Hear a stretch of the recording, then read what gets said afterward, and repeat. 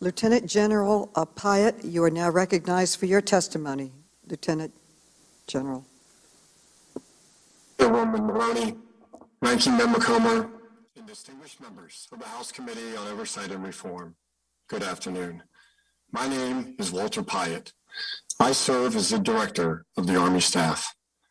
Thank you for the invitation to appear before this committee to speak to you about the Army's actions in support of the events that took place on January 6th in our nation's capital. Before I begin, I would like to extend my sincere and lasting gratitude to the brave men and women who heroically defended the Capitol on January 6th and without question saved many lives. I also wish to extend my deepest sympathy to the families who lost loved ones that day. On the days leading to 6 January, my role was to assist then Secretary of the Army Ryan McCarthy and to ensure that the Army staff provided the DC National Guard with the resources they required to accomplish their mission. The Army's role on 6 January began as unarmed support by the DC National Guard to the Metropolitan Police. By midday, the mission had changed drastically to respond to the attack on the Capitol. That change in mission was unforeseen, and we were not positioned to respond with immediate support. My involvement with our response to this emergency began shortly after entering the Secretary of the Army's office at 2:20 p.m. to provide a report of a suspicious package. While I was there, a panic call came in reporting several explosions in the city.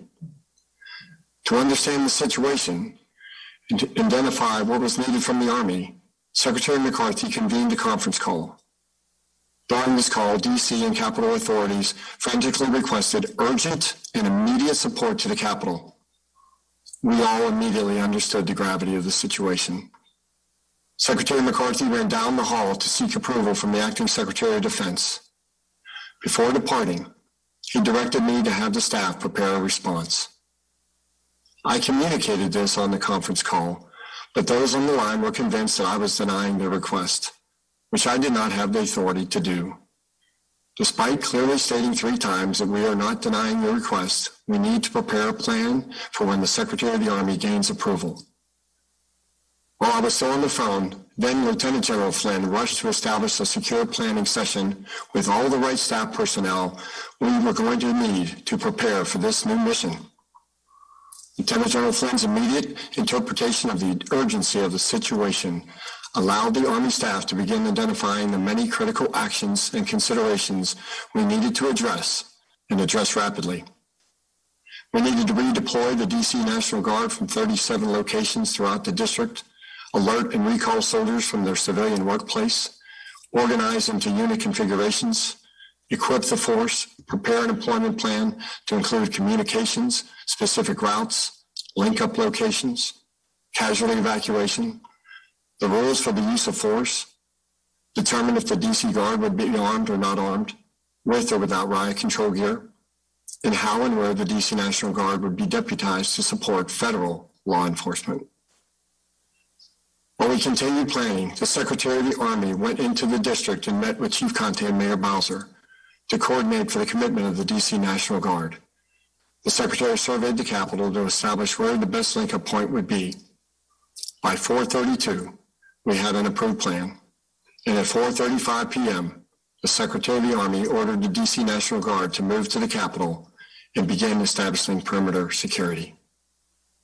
Once the DC National Guard was committed, the Army staff continued to prepare and conduct planning to receive additional forces, identify what barrier material would be needed, and where it could be found, how it would be contracted for, and employed and in place to enhance the protection of the Capitol.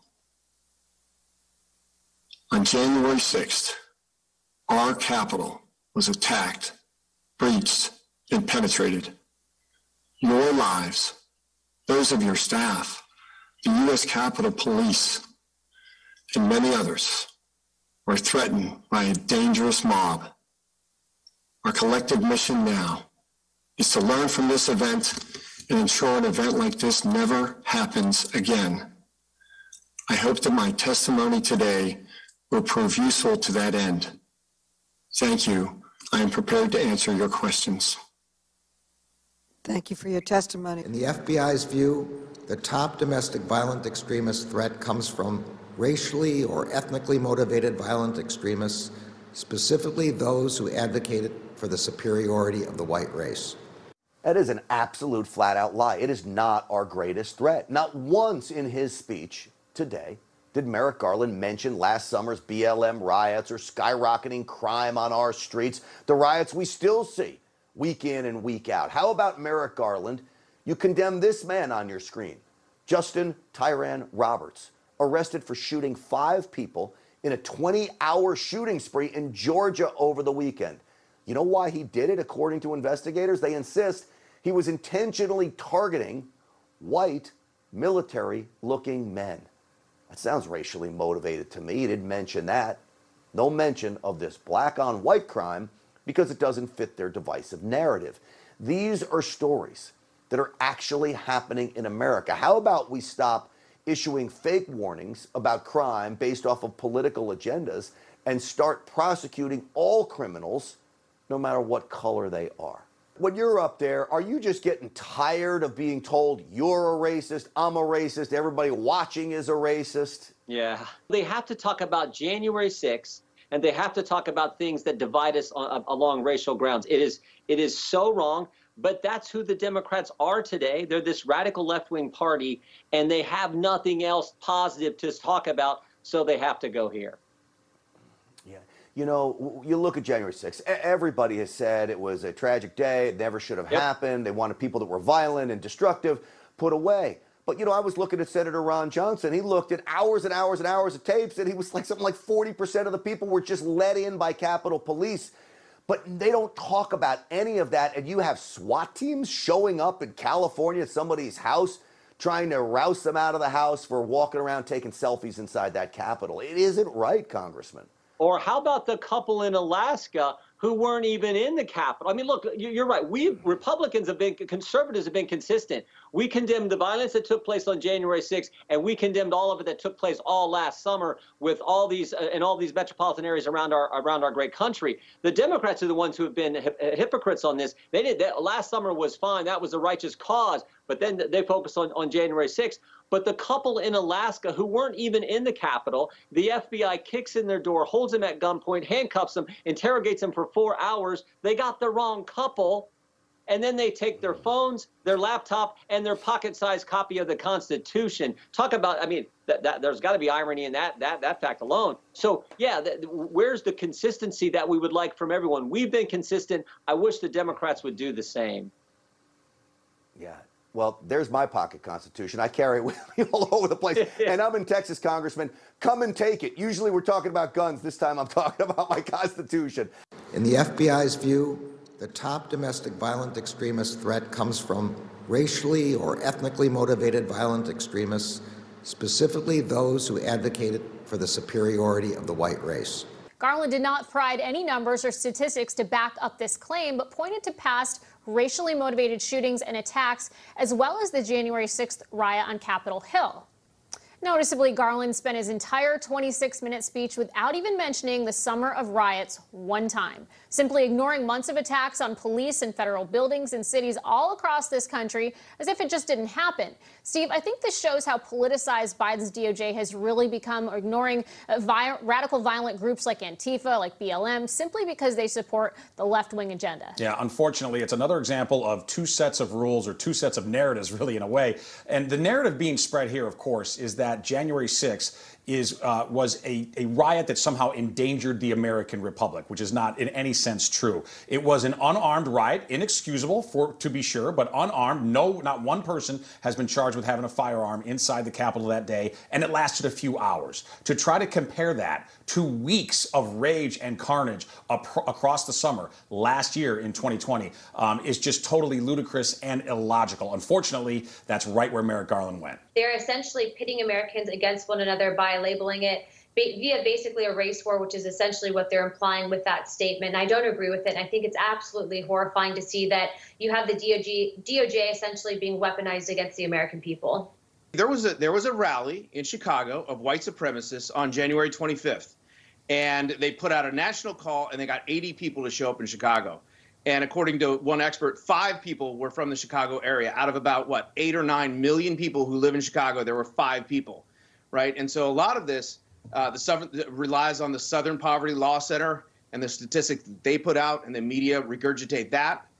And so I think we have to be careful. Certainly, I, I do not trust the media uh, on this issue because they they have proven themselves to be uh, you know, not reliable when it comes to being partisan and pushing certain narratives. So, um, is white supremacy? Is there some in the United States? Absolutely. Is it the most uh, biggest threat to to America? I think that's overblown, and I think that the administration is pushing it for their own political reasons.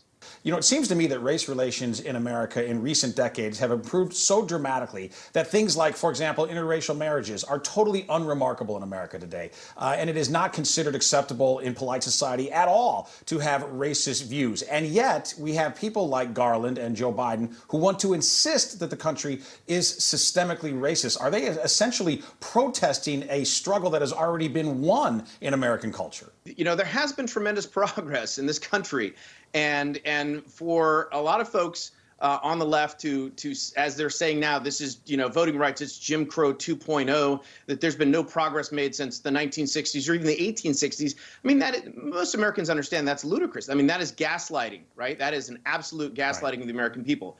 And so I think uh, again in our normal everyday lives, we do not see the bogeymen that are being made out. There are not Klansmen walking around the corner. There are not white supremacists uh, gathering on street corners. And so I think, uh, you know, that ultimately falls flat to the American people because that's not what we see and we live in our day to day lives. Right. And we understand that racism is really.